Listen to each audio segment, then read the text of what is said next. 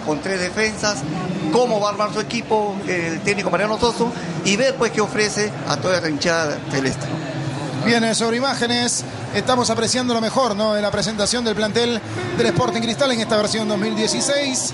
La presencia de Alexander Zucker, de, lo, de Jairzinho González, y lo decíamos, ¿no? Lo más importante para ver aquellos que hoy resultan ser refuerzos y que tienen eh, sobre los mismos citadas esperanzas para eh, buen papel tanto en, en, el torneo local como en la Copa Libertadores de América, ¿no? Lo de, lo de Gabriel Costa, lo de lo de Silva en la parte defensiva, Ramúa. ¿no? Lo de Ramúa, lo, lo del Chapo Ramúa, Césped. lo de Yair Céspedes, ¿no? Y por supuesto todos observando eh, y muy de cerca bajo la lupa de lo que va a ser el trabajo de Mariano Soso, en donde ya se conocía desde, desde el año pasado que iba a ser el técnico del, del Sporting Cristal, ¿no?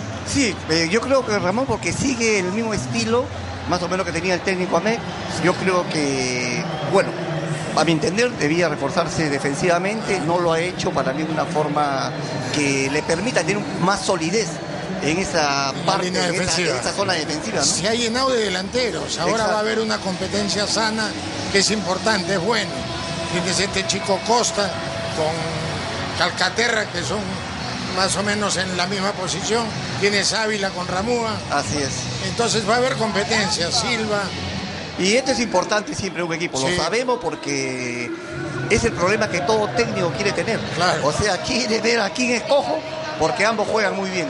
Entonces, en ese sentido, va a tener que tener bastante manejo Mariano Soto Manejo para grupo. llevar el grupo, exactamente, ¿no? Que no se. que no hayan resentidos. Exacto. Eh, Pero, pero justo lo que hablábamos, ¿no? Cuando, cuando tienes dos frentes, eh, tienes que tener esa posibilidad de, de- de- de poder, de poder variar, ¿no? De, de- por ejemplo, eh, vamos a tener calendario en el torneo doméstico ajustado. Vamos a jugar domingo, miércoles, domingo.